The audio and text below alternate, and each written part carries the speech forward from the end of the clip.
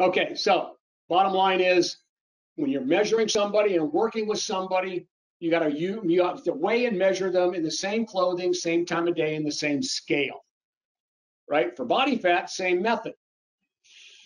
We know we don't like the hydrostatic. Any I mean, hydrostatic's impossible because it's too expensive. I, you can't do it very often. But obviously, a gold standard. But we're not. We're, we're certainly not doing that. Calipers are the simplest, safest way, non-invasive way of doing it, and consistent just because it might be a percent or two off, it doesn't matter. As long as it's directionally correct, you're going in the right direction. You, it'll tell you that, right?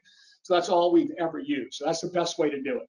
And that way you can really balance out if you're losing muscle or if you're losing body fat or both, right?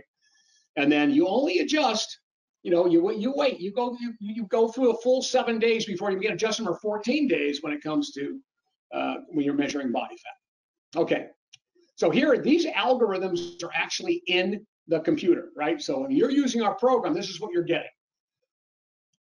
A, a, measurable distance should take place in a regular, consistent manner. And if it doesn't, the computer actually comes up and tells you this. It's all laid there.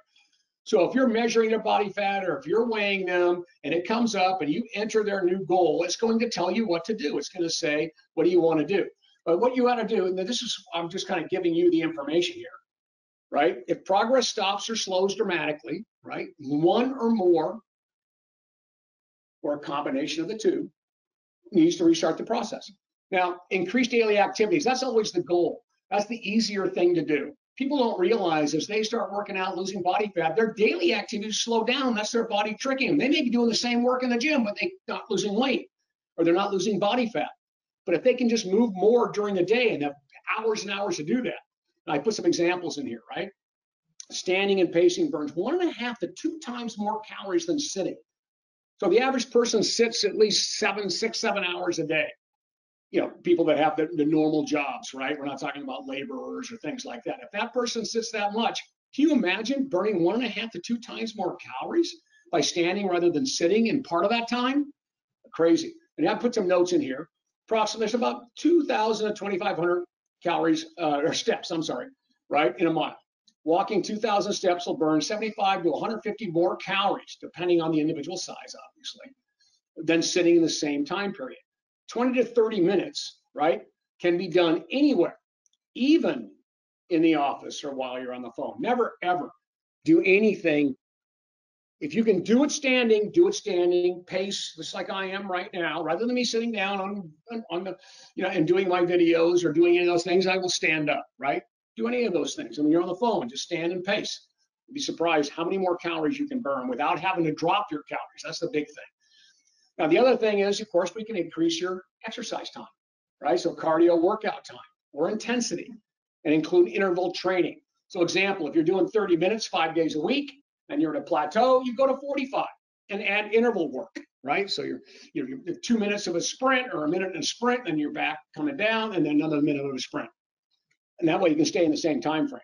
And then finally, I always like to do this last because this might be first. You have to remember, if they're already doing a lot of work, this could be first. Uh, decrease food intake, approximately two to 300 calories a day, or just remove a small portion of their largest meal of the day. All right. And then finally, you'll end up at a three days low. If they really want to go low, as we do for bodybuilders, three days low, one day high. And I'll give you a map on that.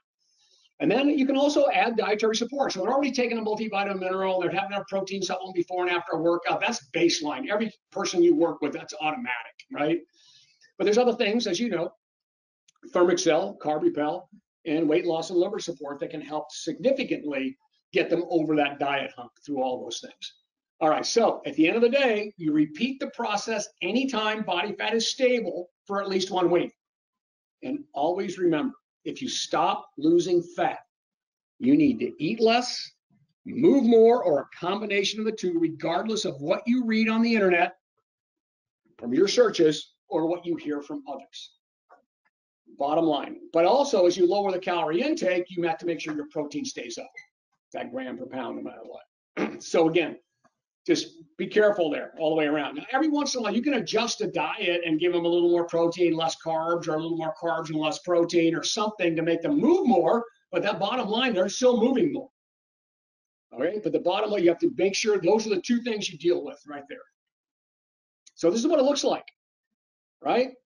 this comes up. That's why, you know, when it comes up and it asks for the client's weight every seven days, or if you're doing body fat every 14 days, weight and body fat, enter it. And everything I just told you will pop up right here. What do you want to do? You're off goal. Here's what you need to do, right? Do you want to extend your goal? We'll change your menus, and that automatically happens as you push a button.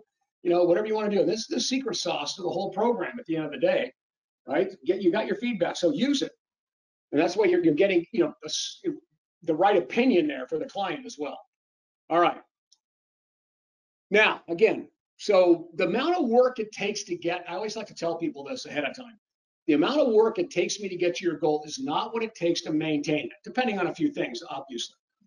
Once you get to your goal, right, we can increase your calorie intake because if we keep if you we keep adding more work and, and every again you keep losing weight and you've lost you've gone down lost a pound a week right and you're at your goal if i keep if i keep dropping you you're gonna you're gonna keep losing a pound a week until you die right so obviously you know we can stop doing that and we can actually raise it back up because what it takes to get there is not necessarily what it takes to maintain it, depending on how long you are really you would stabilize. So if you've been in this, if you've stabilized, that where you wanted to end up was, you know, 150 pounds, you wanted to end up at 150 and 10% body fat. Okay, and if you've been there for six weeks, then that's what it takes to maintain it. But if you were coming down to that, I could probably bring you up 500 calories a day. That's huge, right? And cut back on some of the exercise that got you there. So keep that in mind, maintenance. Just plug in a new goal for the, for the client. That's all we do. Plug in a new maintenance goal for the client.